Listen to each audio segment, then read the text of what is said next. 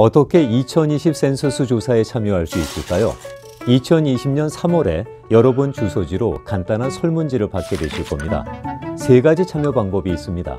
첫째, 온라인으로 작성하시거나 두 번째, 전화로 세 번째, 우편으로 참여하실 수 있습니다. 이 방법이 여의치 않으신 분들은 센서스국 직원들이 방문해 직접 도와드립니다. 2020 센서스에 적극 참여해 우리의 미래를 만들어 갑시다.